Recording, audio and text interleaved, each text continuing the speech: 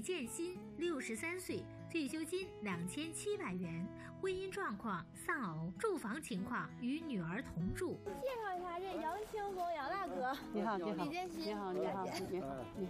咱先上楼吧。我这是一楼。对。慢点啊，姐。啊，在这上。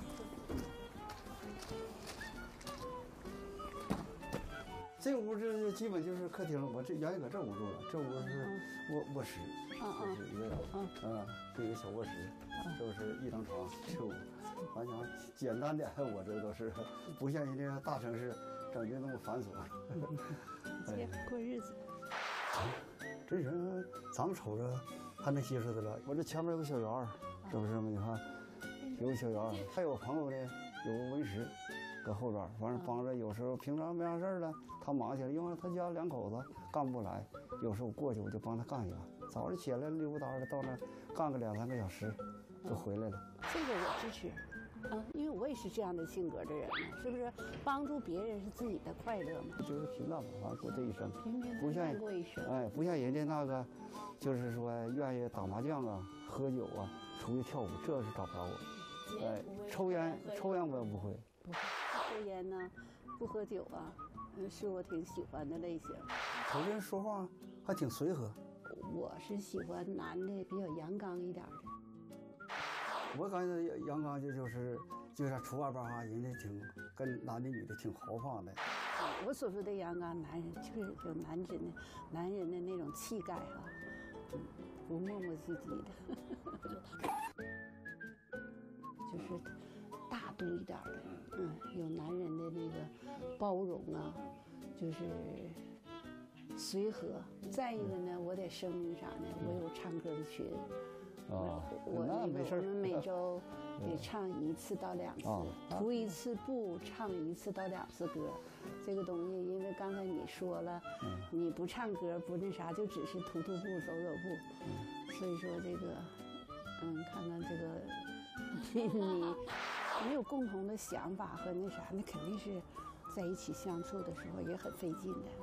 哎，就是虽然他即便是很随和，你总出去总那啥，他肯定是他得有想法。也行，行也行，这玩意儿你不能说咱们说把人家就拢在咱们跟前，是不是？这看来呀，杨大哥是真相中咱李大姐了。简单聊起了兴趣爱好。杨大哥也想着更进一步的再了解一下李大姐。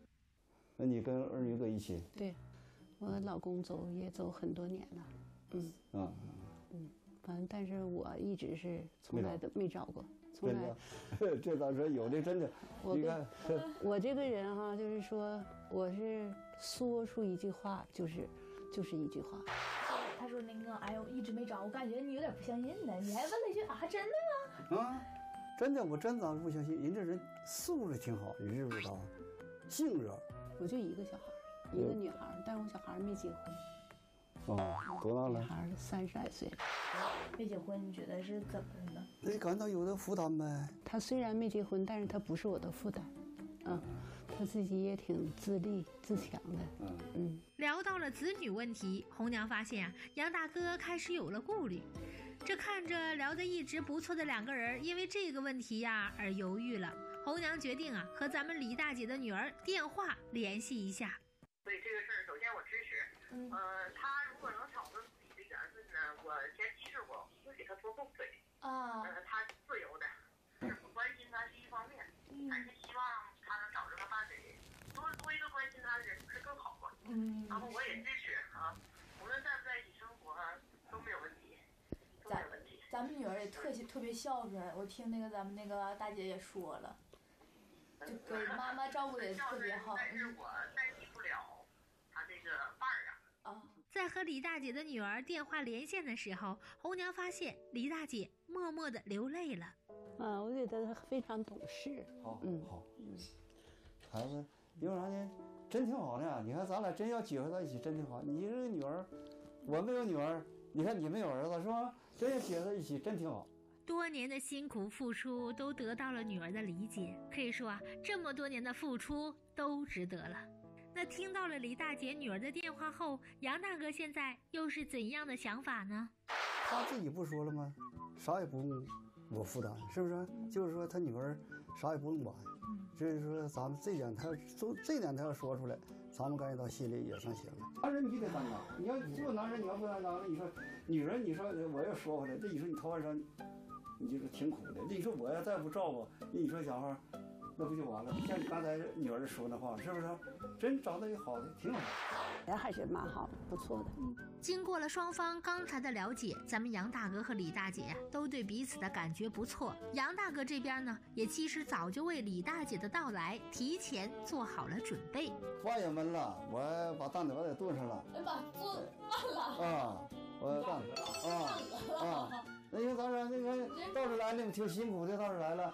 完了，其他的咱再整个整两个小毛菜，炒一个苦瓜。原来呀，杨大哥早就准备好了食材，就等咱们李大姐的到来。让我剁碎了都。哎，最好。哇，谢谢谢谢。然后你做菜也好，是说讲话。我觉得好像我俩不是一个频率的。杨大哥觉得，无论是性格还是过日子。李大姐都不错，但是李大姐觉得杨大哥在阳刚之气这方面还是差了一点儿，于是两个人决定先留个电话，再考虑考虑。挺好，挺好，行行行。